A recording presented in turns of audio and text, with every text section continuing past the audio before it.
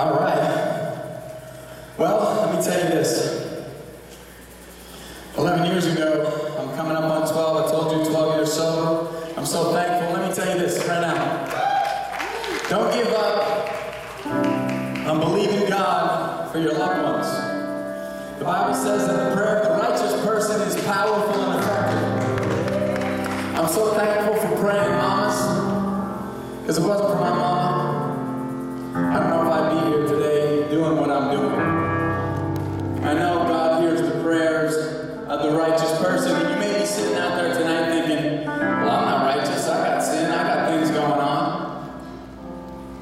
If you're following Jesus Christ tonight, you're righteous, not because of what you've done, but because you're in Jesus Christ. The Bible says that those who have accepted Jesus are hidden in God through Jesus. And so when God looks at us, he sees Jesus. So if you know who Jesus is, your prayers are righteous. And if your prayers are righteous, the Bible says they're powerful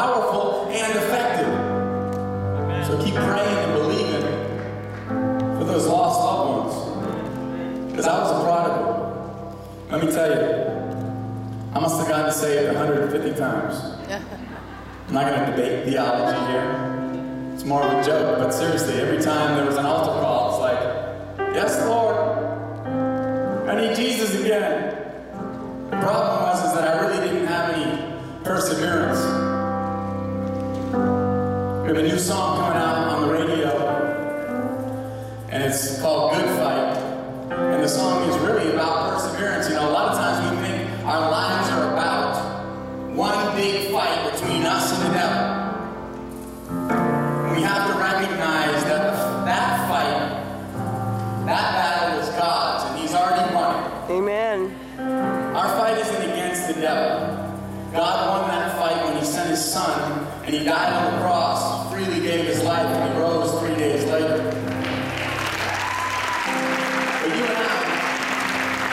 you and I are faced with battles every day. Maybe you're battling sickness. Maybe you're battling addiction like I was.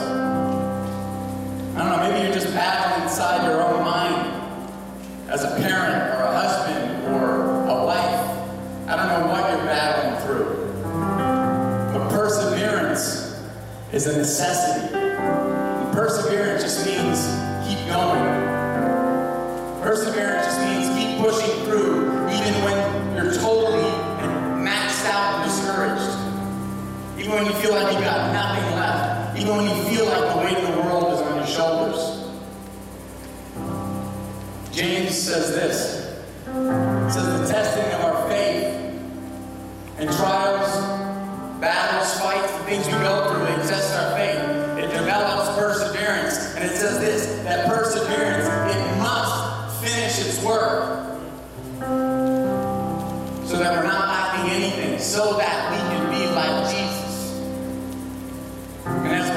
that's the goal.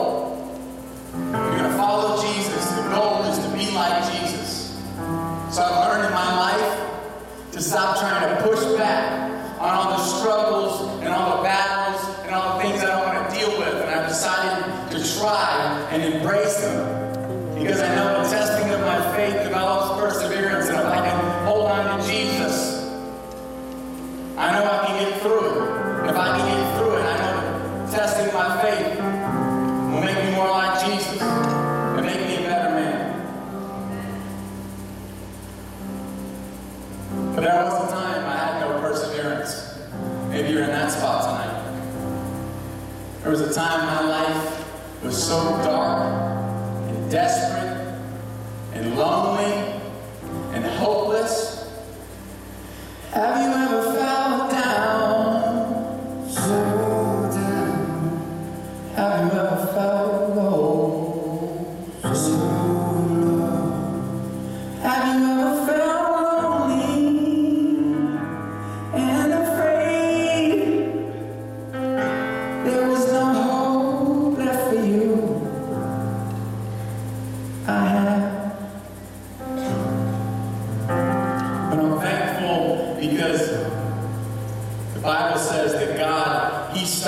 Work, and God, He finishes a work. That's what Philippians 1 6 says. God who starts it, He's faithful to finish the work. And all it takes from us is a little perseverance. It's just to keep on pushing through. We can't do it alone for sure. We need each other. Absolutely. For me, I had a great family growing up. I had a praying mom. But in my darkest hour, drug addict,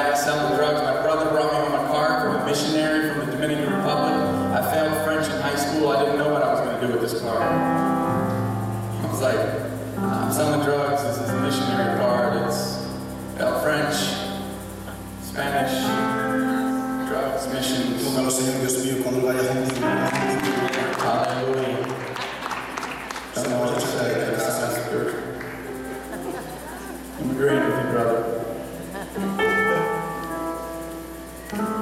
He brought me this card and he said, Chad, I think you should do something with your life, man. You're wasting it. And I called these missionaries and I said, listen, my life is screwed up. Now, Could I come and hang out with you? And he said, why not? Do you know tonight that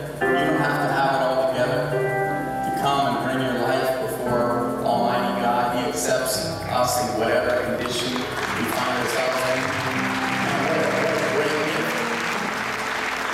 You can just come as you are, straight up.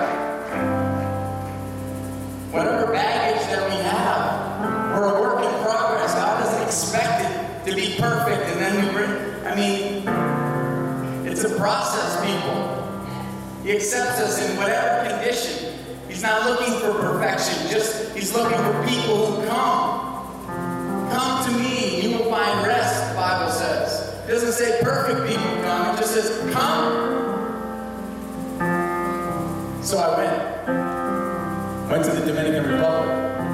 While I was in the Dominican Republic, I read the Bible and I prayed every day. I actually, for the first time, I went to church my whole life. For the first time, I read my Bible and I prayed every day.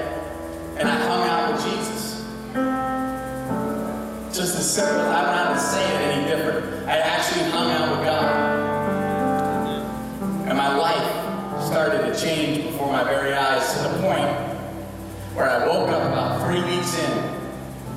one morning. And I put my feet on the floor and I knew. I knew I was never going back. I knew God had done a work in me and I knew I was never going back. That could be your story.